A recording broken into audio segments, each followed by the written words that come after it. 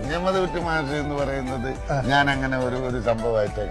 ഞാനൊരു ഒരു എതിരാളിയായിട്ട് അത് കണ്ടിട്ട് അതിലും ശക്തനായ ആരാളുള്ളത് ഇനി പിണറായി വിജയം വന്നാലും കുറ്റാടി ഞാൻ ജയിക്കുന്നുള്ളതാണ്